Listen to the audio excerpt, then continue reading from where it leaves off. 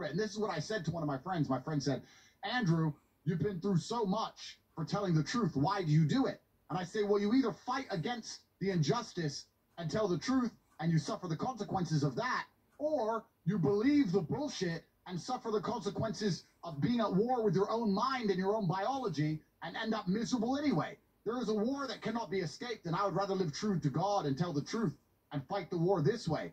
But it's two camps. Have the camps of losers and winners, and the winners are telling the truth, and the losers are just adopting all of the slave mind programming. And unfortunately, it's becoming more and more dangerous now to even say the truth because these losers band together like hyenas and attack anybody who stands up and tells the truth, like they've attacked you and like they've attacked me. The people who are trying to put me in jail are not good people. They're not good people. They're not honest, hardworking, God-fearing people. They're evil. Exactly what they're trying to do. It's it's it's scary.